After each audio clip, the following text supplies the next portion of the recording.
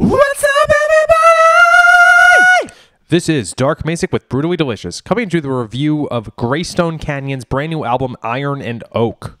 So here's a brand new band for me. It looks like they've got a couple releases before this one, but I saw the album art and thought, gee, this is going to be fun. The album art is something looking like a dungeon's door, like an old timey wooden door with metal locks on it. So I was thinking this was going to be like Dungeons and Dragons kind of stuff, you know, Rhapsody, Twilight Force. It's nothing like that. It's more just like an old hard rock, back to roots style.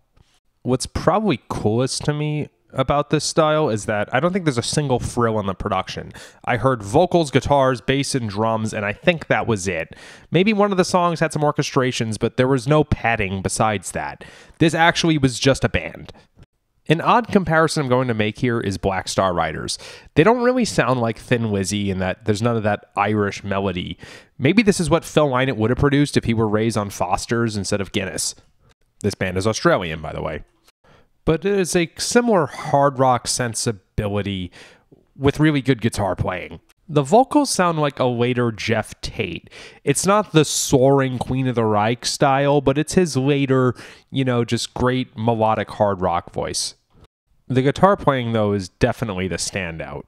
In a way, it's really refreshing to hear some of this again.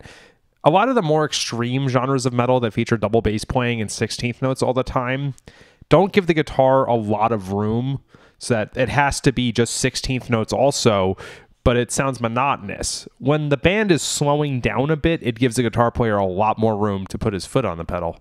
Like, seriously, Jeff Loomis is, of course, amazing, but how many truly memorable guitar solos have there been post 1995? So, with that, let's get into some songs. Price on Your Head. Again, great guitar playing here, very, very tasty. It sounds more like a 70s to 80s style with just a bit more technical ability instead of most modern metal. On a similar note, We All Become Yesterday. Holy shit, this guitar solo. It's like 1991 Zakk Wylde meets Warren DeMartini of Ratt. I know hair metal gets a bad rap, but come on, Warren DeMartini is a monster, and he can play way better than those brutal dudes that still live in their mother's basements anyway. Couple more to comment on. Breathe Again. Is this just Bad Omen by Megadeth slowed down? Like, actually, listen to the two and get back to me. This band generally does not sound like Megadeth. There's no double bass drumming. It's not the same fervor that Dave Mustaine stuff comes out with. But this riff is similar, and to me, it's kind of funny.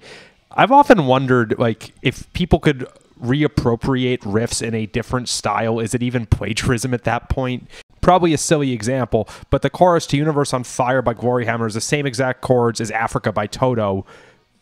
Yeah, you know what I mean? Lastly, Raging Waters. This is a fun road song, even though I don't think it's explicitly about the road. When I say a road song, I'm talking, it, it is a common trend. Something like Turn the Page, where it's about the monotony of waking up somewhere else every morning and not being at home. Faithfully by Journey is kind of like that, but turned into a love song. But, you know, this is something a lot of bands write about. If anything, I'm actually wondering, has this band even gotten the opportunity to tour? I hope so.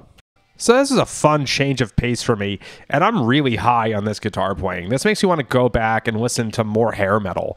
This band is not a hair metal band, but you know that Warren DeMartini comparison.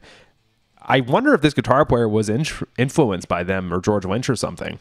As something of a double bass drumming addict, it makes me wondering: Did guitar playing ultimately pay the price for that aesthetic? Please comment if you think I'm missing some great ones. Rock on.